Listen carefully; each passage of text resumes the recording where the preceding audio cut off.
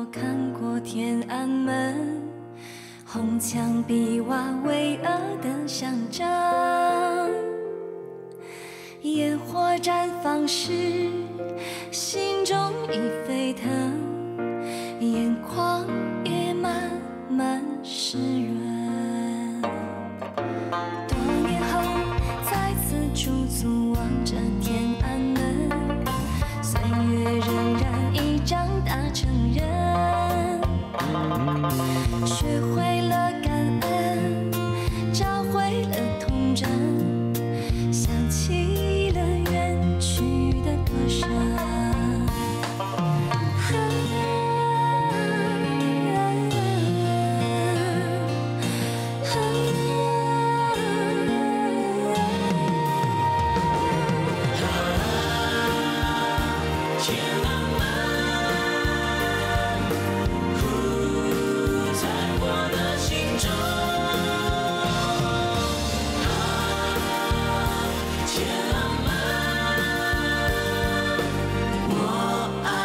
爱天安门。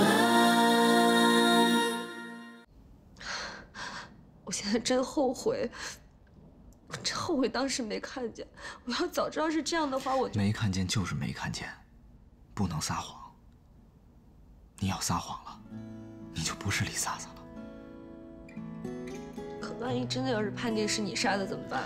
不会，张锁他们明天就能抓到凶手，我就可以出去了。要是抓不到你？要是抓不到人，抓不到人的话，你是不是就要坐牢了？你你告诉我是不是红亮？嫂子，你只要记着一句话：我永远爱你。反正不管怎么样，我都等你。你别出去，可能是那人家属来闹了，啊！萨萨，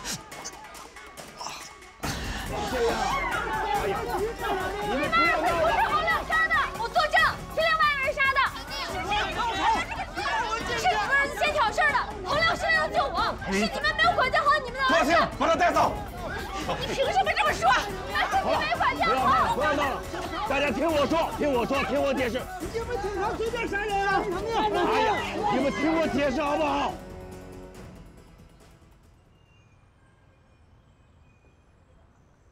洪亮没杀人，你就别担心了，这事情总会水落石出的。我真后悔，我当初要是说我看见了不是洪亮干的，估计就没事儿了。那可不行，跟警察撒谎那是不对的。当时我要在就好了，我三拳两脚就把两个小毛贼解决了，然后给他们送到派出所，那样就不会有事了。早知道我就让他跟你学武术了，这样两下子就把那两个人打趴下。现在也不晚，等他伤好了，我就教他武术，让他保护你。好在他伤的也不严重。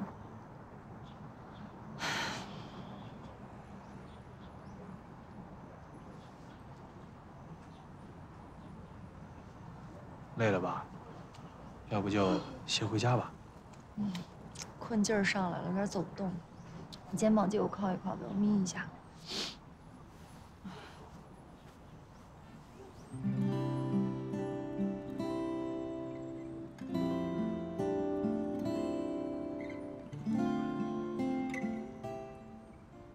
我知道，我知道。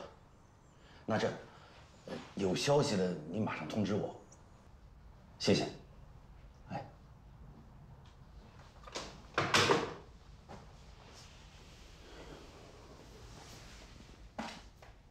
跑了的那人啊，现在还没找着，怎么过了这么久还没抓着人呢？该排查的我们都排查了。死者是唯一认识那个人，你跟亮子又都没看清楚人家长什么样，现在想找那个人啊，大海捞针。那洪亮会怎么样啊？检察院已经起诉了，等着法院判决。该做的我们都已经做了。会判刑吗？萨萨，你得有思想准备。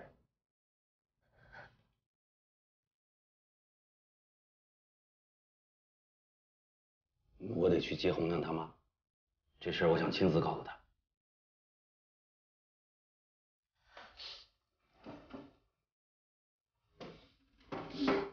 萨萨，我觉得你和洪亮这事儿啊，暂时先不要跟任何人说，尤其是亮子他妈。他妈要是知道，这兴许啊，你们这一辈子都成不了。那我能见见洪亮吗？不行，必须等到判决以后。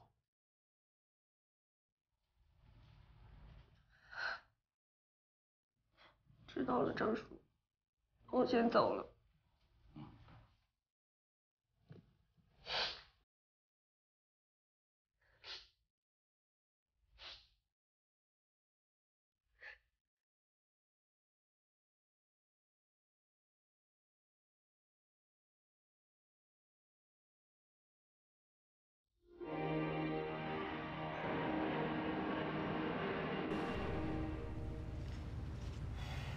真是的，有事儿接不了就算了吧，还让你来，你来吧，还开辆警车，你说这警车要进了胡同，大伙看到我从警车上下来，那不得以为我出什么事儿了？靠边，靠边，靠边，靠边，我打车回家。王瑞啊，我得跟你说个事儿。哟，这么严肃？什么事啊？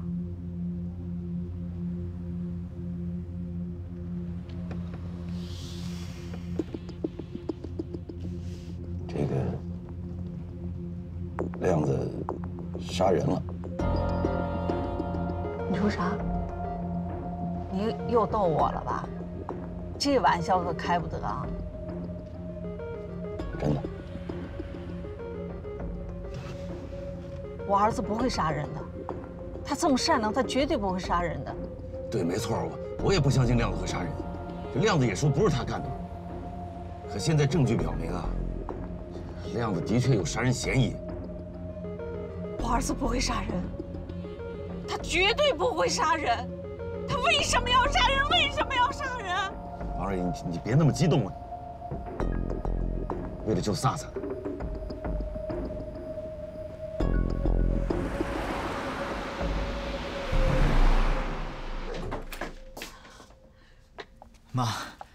回来了。亮亮，妈，我没事儿。没事儿，怎么就叫有事儿？啊？妈，您先坐会儿啊。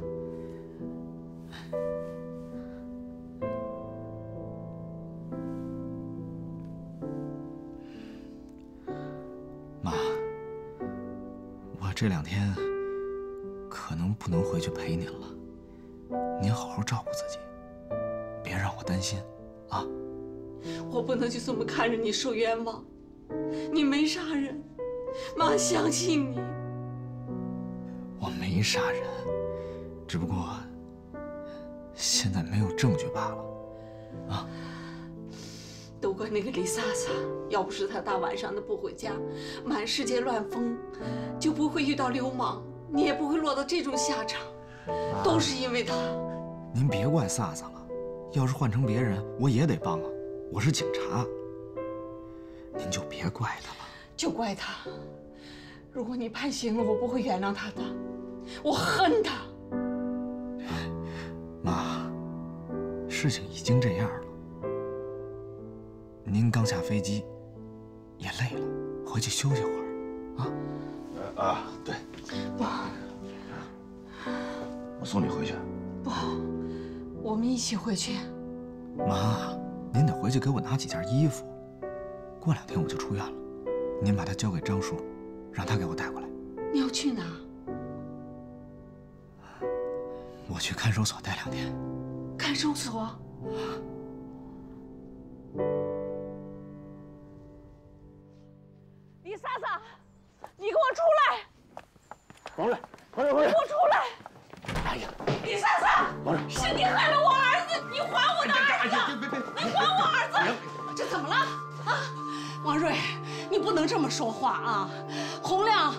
了救萨萨出的事儿，可是不能说萨萨害了他呀，是吧？萨萨被人欺负了，洪亮遇见了。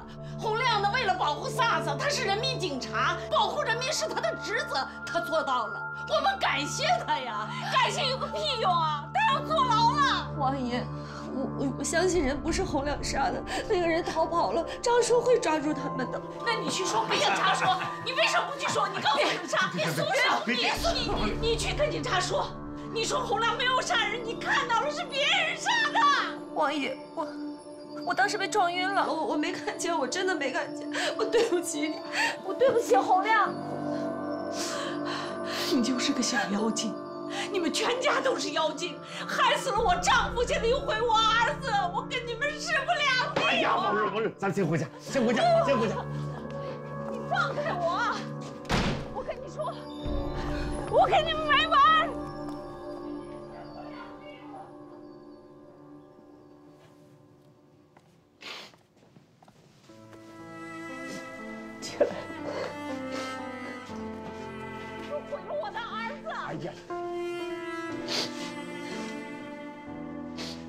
孩子，别太难过了啊！这事不赖你，不赖你，不赖你。让他骂几句啊，骂几句，他心里就好受了。嗯，不哭，孩子，不赖你。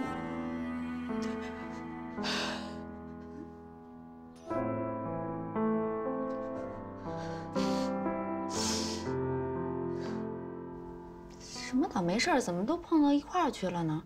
本来是大喜的事儿，现在成成这样。哎，说说你跟洪亮吧，你打算怎么办啊？现在就只能等，等到抓住那个真正的凶手。那要抓不住呢？一定能。嗯，万一洪亮要坐牢了，你怎么办？那我就等他。萨萨，你有没有想过，他就算出来了，以后可能也当不了警察了。他就算是有案底的人了，你要是嫁给他，你们两个今后的日子会很难过的。你这是什么意思啊？我的意思是，你还这么年轻，那么漂亮。你该为自己打算打算。是洪亮是救了你，他对你有恩，但你不能因为这个就把自己一辈子的幸福搭进去啊。小雪，我要是把洪亮抛弃了，我还是人吗？萨萨，我知道你不会这么做的，你也不会愿意听我跟你说这些。但是作为好朋友，这些话我得说。咱们女人这辈子为了什么呀？不就是想找个好的归宿，一个好丈夫，这辈子才能踏实吗？那是你，不是我。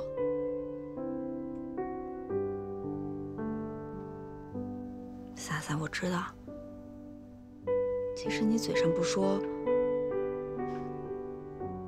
我知道你心里瞧不起我。你觉得找 Peter 是为了钱？没错，我就是想嫁个有钱人。因为我想明白了，贫贱夫妻百事哀。天天那种为了柴米油盐、车子、房子、工作，天天发愁的日子，我过不了。萨萨，我真心的希望你好，希望你过得幸福。小雪，做人得有良心。洪亮为了我，很可能是要坐牢的。我要是抛弃他了，这辈子我都不会原谅自己的。行了，你也别劝我了，咱俩走的路啊就不一样。我也尊重你的选择，你去做你的阔太太，我就等着我的洪亮。再说了，我觉得这种平平淡淡、简简单单的日子也挺好。嗯，嗯，哎，怎么了？呃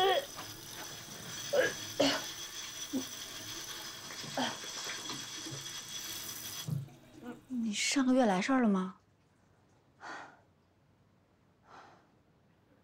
迟几天了，好像七八天了吧？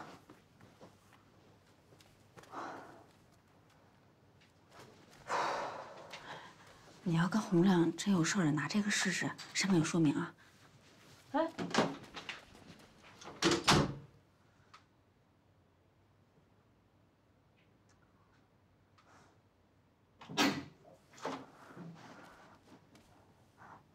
我怀孕了。啊！被告人洪亮因过失杀人，判处有期徒刑两年。如不服判决，可在接到判决书的第二日起十日内通过本院提出上诉。虽说判两年，还好，就在咱们区的看守所执行。我要上诉。可以，那是你的权利。可我也告诉你，王瑞，在没抓着那逃跑的人之前，你没有新的证据，那上诉啊会被驳回的。那洪亮就这么白白的被冤枉了？政府就能白白的冤枉好人吗？从法律的角度上讲，那现在洪亮没被冤枉。你们警察是干什么吃的？为什么连个逃跑的人都抓不着？你们去抓去抓去抓王瑞！，王瑞，你先坐，先坐，先坐下。你比谁都清楚，两年以后即使洪亮出来了，那也是一个有前科的人了。你让他以后怎么办？谁会嫁给他？他一生就毁了，就毁了，就。王瑞，我保证，只要我活着，我一定会抓住那个逃跑的人，还洪亮一个清白。我也相信，会有好姑娘愿意嫁给洪亮的。谁会嫁给一个杀人犯？啊！那你要不拦着，那萨萨就能嫁给洪亮了。不，我就死了，他也不能进这个家门。他要是敢娶她，我就死给他看。李新桥害死了我的丈夫，李萨萨又毁了我的儿子，我跟他势不两立。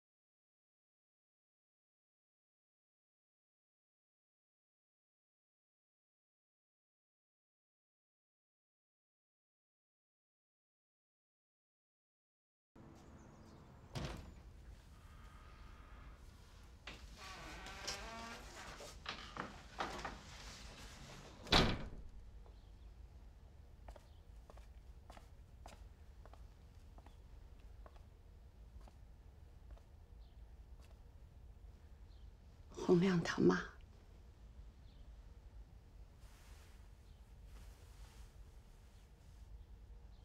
我们家对不起你。洪亮他爸和洪亮遭的难，不管责任在谁，都和我们家有关系。我是个长辈，我跟你鞠躬道歉。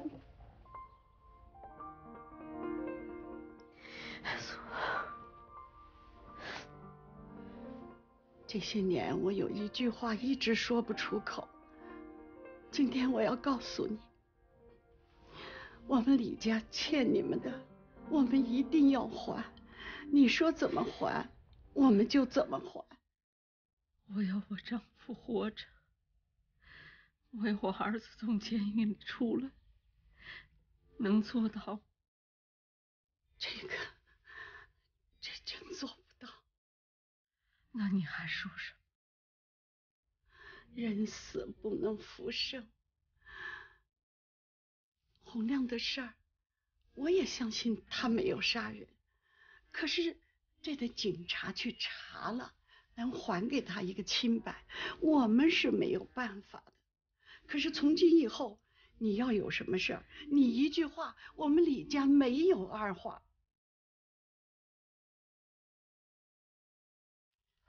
红娘他妈。这是五万块钱，是我留给自己的棺材板钱。现在我把钱给你，不是因为你缺钱，只是我的一点意思，啊！我不要，我不缺钱，我缺人。你收不收都没有关系。可是我只求你，一定要好好的活着。为了洪亮能够安心，你要保重你自己。早晚，早晚咱们也是一家人。你什么意思？我的意思是，万一洪亮要是洗不清自己的冤屈，那……那他就会成为一个有前科的人。我们，我们的萨萨，就给你做儿媳妇。你要是真对我们家好，就让那个李萨萨离洪亮远点别再招惹我们，行吗？这个你放心，没有你的话，我们家萨萨。不会再和你们洪亮来往。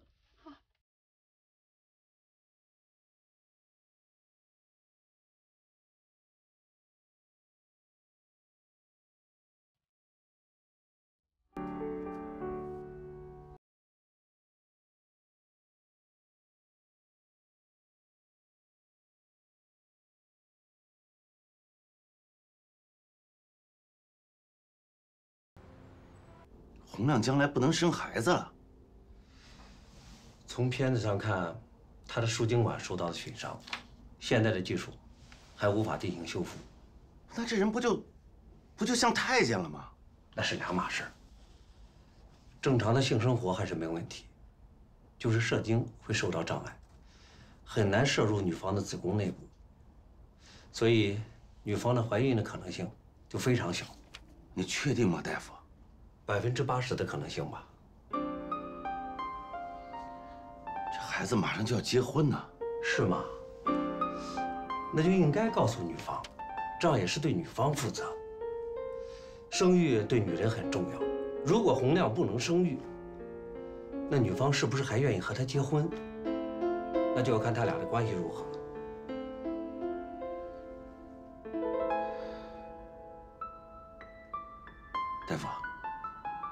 这事儿啊，我知道就行了。先不要和洪亮说，也不要和他家人说，他够倒霉的了。你是他的领导，说不说在你。不过，我希望对女方不要隐瞒，这样太不道德了。这我知道。放心吧，这事儿啊，我能处理好。啊。四十二号。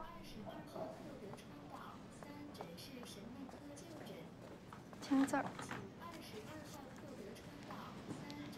不要也好。嗯，好了，进去。你们还年轻，等洪亮出来了，到时候再要也不迟。可是毕竟是个孩子。行了，别想太多了啊。四十三号，做人流的四十三号。他怎么这么叫号啊？哎，去吧，别担心，我在这等你啊。我是四十三。啊，在这儿签字吧。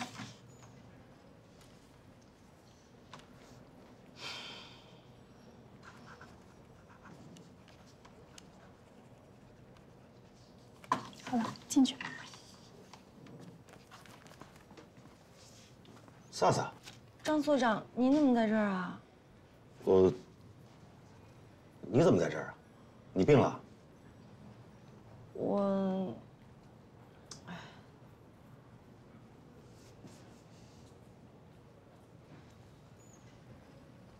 你呀、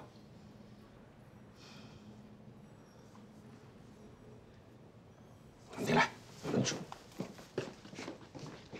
洪亮受伤，再也不能生孩子了。这我刚取的报告了。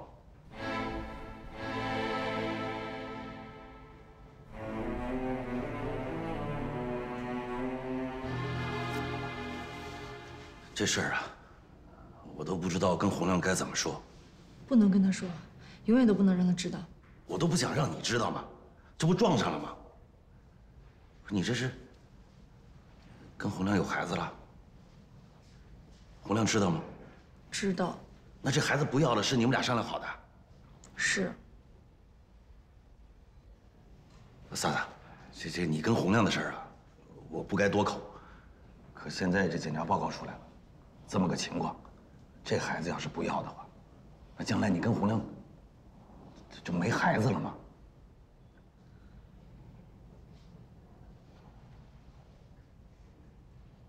我当然，你这现在也不能马上跟洪亮结婚，未婚先孕的，你确实得考虑考虑。不用考虑，这孩子我留下了。真的？嗯，我不能让洪亮没有孩子，他已经都这样了，我得对他负责。行，嫂子，这我替洪亮谢谢你，啊。你爸妈知道吗？不知道。那怎么说啊？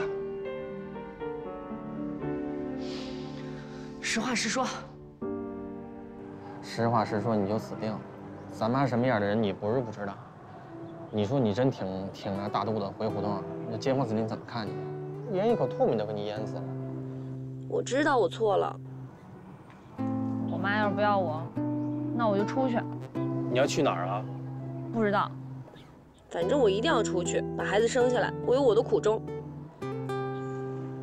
这还不都怪你跟洪亮啊？都开了这条信了，还不赶快把这儿领了？明明错了，还留着孩子干嘛呀？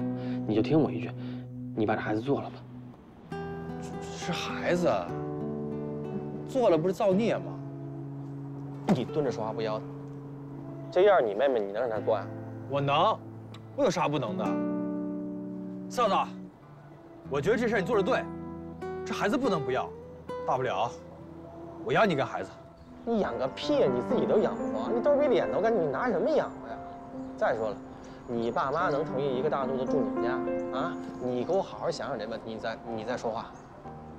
嫂子，这洪亮他妈有多恨你，你不是不知道。这要是他妈知道你怀了洪亮的孩子，他妈肯定以为你要威胁洪亮跟他结婚呢。再说了，咱妈她她有心脏病，你说这样真气出了好歹，你说怎么办？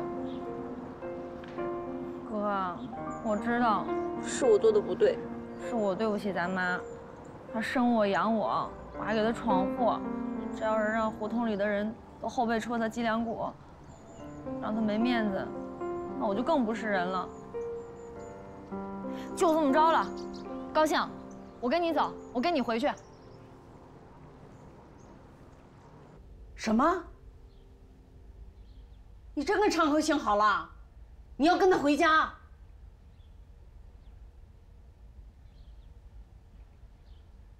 不不是妈萨特的意思是，让他自己说，你说。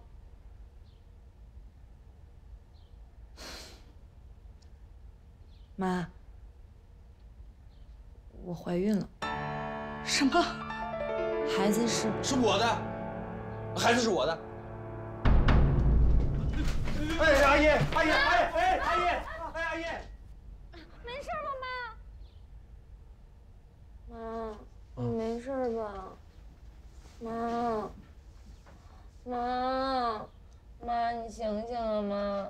妈，哥哥，这怎么办呢？这个，阿姨，你没事。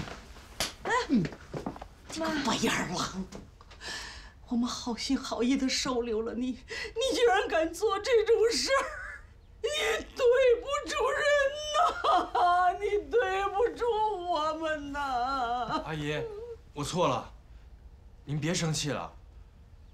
我喜欢萨萨，我真心的爱萨萨，我想和她结婚，你就答应了吧。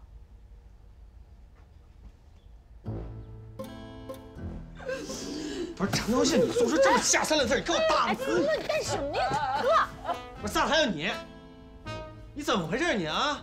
你你怎么能喜欢常高兴呢？他是谁？他一小光棍，你什么人？你不好，你找他啊？妈，我跟他说撒他半天了啊，他他就是不听。但是人医生说了，说这个说这个孩子要是不要，他以后就生不了了，是不是萨萨？医生是不是这么说的？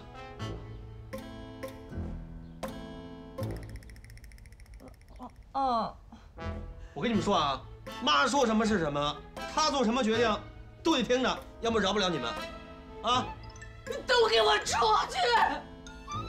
出去！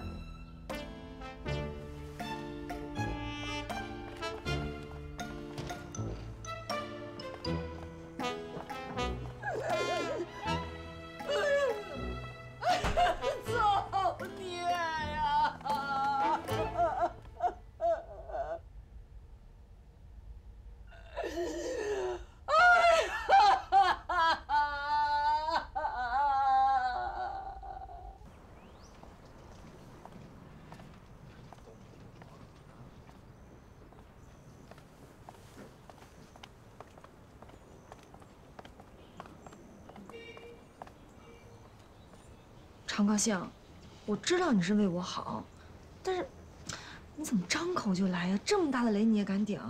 咱俩要真结婚了，这以后怎么办呢？对不起啊，我当时也没想那么多，我就是怕阿姨逼着你不要这个孩子，怕阿姨伤心，我也怕你伤心，对不起。别对不起，不对不起了，事已至此，先解了燃眉之急吧。但我跟你说啊，常高兴，这雷你既然背了，你就得一直背着啊。这婚你必须结。我不能让常高兴这样，我可以，愿意。我不愿意。哎呀，就两年的时间，你等洪亮出来了，我就把你和孩子都还给他。不是没什么。嫂子，高兴这么做也是为了你，为了咱这个家。至少这两年妈不就这么难受。但是我就不明白了，你什么时候要这孩子不行，为什么非要现在要这孩子呀？必须要，一定要。行，要要。那我去医院给你开一个你不能生育的证明去，别到时候妈追问起来我这没有。啊。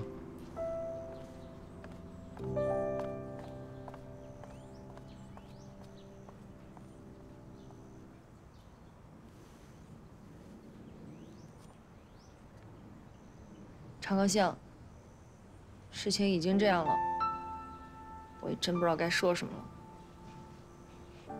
我哥说的好像也有点道理。总之，谢谢你啊。你跟我说啥谢吗？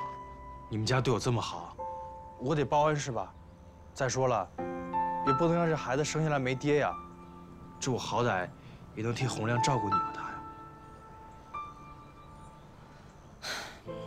只是让你白白浪费两年的时间，有点委屈你了。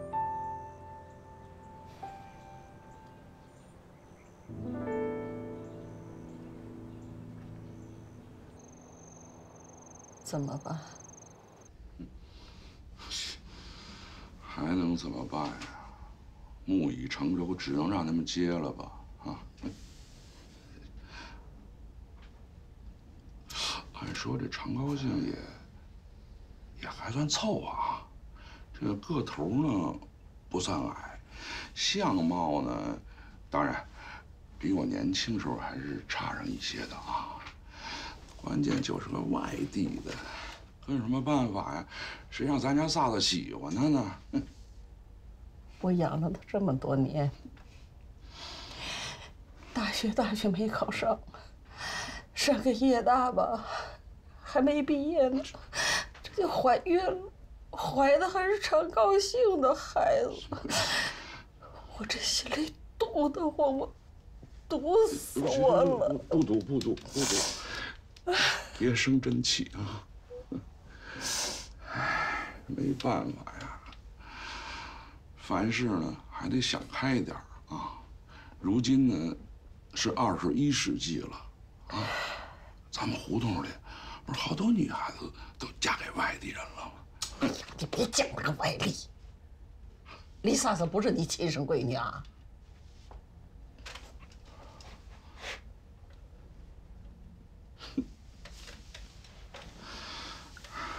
我不是劝你呢吗？我心里不难受啊！啊，要不是因为萨子要流产不能再生育了，我愿意她嫁给一外地的。我养了她二十多年，我闺女嫁给谁都是剜我心头肉啊！你说，他会不会是骗咱们呢？怎么那么巧就怀了孕了？怀了孕了还不能做，做了还不能再生，会不会是他们串通好了，逼着咱们呢，同意他俩结婚？会吗？不行不行，我得去看看医生那个诊断证明，我亲眼看了我才踏实。你去吧，咱俩都得去看。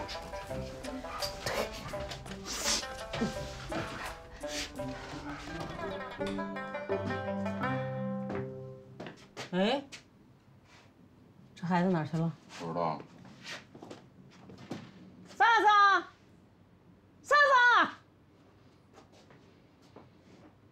给我进来。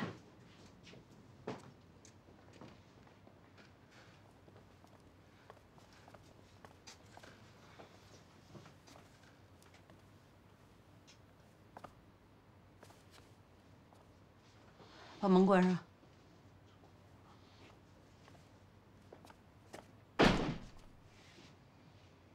李萨子，你跟我说说，为什么怀了孩子就不能做了呢？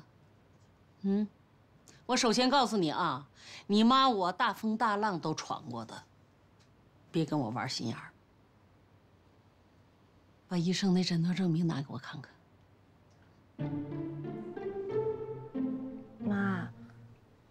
没骗您，是真的。常高兴，嗯，是你陪着萨子去的医院吧？嗯，医生确实说过，萨萨如果做流产，以后就不能生育了，是吗？嗯。把医生证明拿出来。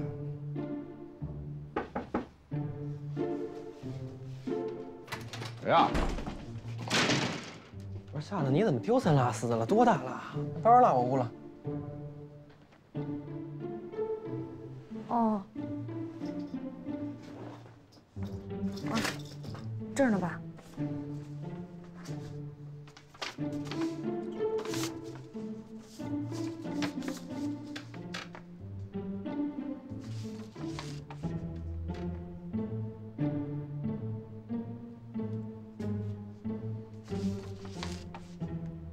爸妈，这事已至此，您就认了吧。啊，程兴，过来，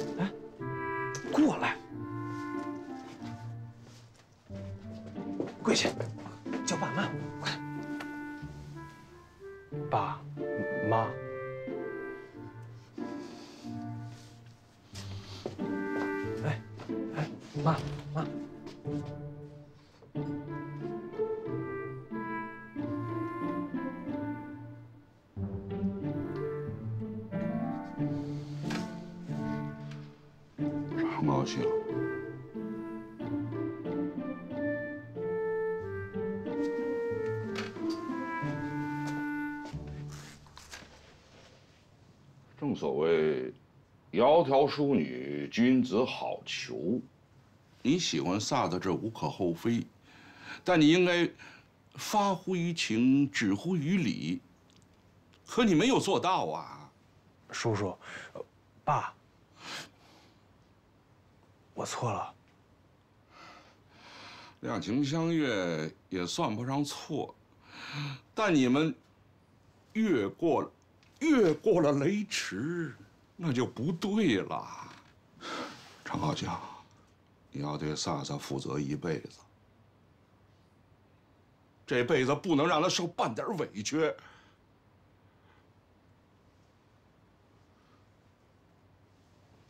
爸，我跟您发誓，我常高兴，这辈子对李飒飒好。生我养我的地方叫北京，哭过笑过的地方叫北京，玩过闹过的地叫北京，走过的路过的这里是北京。有朋自远方来，先摆上一桌，这叫接风。您要是真够意思，这杯可得喝干净，有理儿有面儿，这可是咱的一贯作风。守着天南地北的国家大事，其实就是助兴。手头再紧也不会当着外人面哭穷，死要面子活受罪也不是搁谁都行。不打不成交，这儿的人吃软不吃硬，甭来虚的，要来就来实打实的交情。低头不见抬头见，问一声吃了吗？您说两句客气话，紧接着回见了您那大杂院里吃百家饭，远亲不如近邻。开玩笑的指腹为婚，居然弄假成真。柴米油盐酱醋茶不紧不慢的日子，酸甜苦辣家家有本经，再难也念着。如今楼道里还摆着当年的自行车，谁也没有忘了曾经走过的那份快乐。忙着学习挣钱，数着盼着疯狂的周末。后海工体三里屯想喝一杯可没座。西单动物园五道口买衣服的太多，打麻将打台球 KTV 来首主打歌。要不带您家那位看电影玩回浪漫，捎带手找个清静的地儿来个烛光晚餐。实在不想动换的，那咱就家里窝着，冲个热水澡，睡到自然醒也值了。生我养我的地方叫北京，哭过笑过的地方叫北京，玩过闹过的地方叫北京，走过的路过的这里是北京，爱过恨过的地方叫北京，我拆了的地方叫北京，吃饱了就睡的地方叫北京，这就是我的家，名字叫北京。我爷爷小的时候常待在这里玩耍，高高的前门楼子仿佛挨着我的家。一蓬衰草，那几声蛐蛐叫，伴随他度过了灰色的年华。吃一串冰糖葫芦，就算是过节了。他一日三餐窝头咸菜，就着大碗茶。几句老的歌词勾勒出如今的变化。可北京就是北京，这里是我的家。生我养我的地方叫北京，哭过笑过的地方叫北京，玩过闹过的地方叫北京，走过的路过的这里是北京，爱过恨过的地方叫北京，住过拆了的地方叫北京，吃饱了就睡的地方叫北京。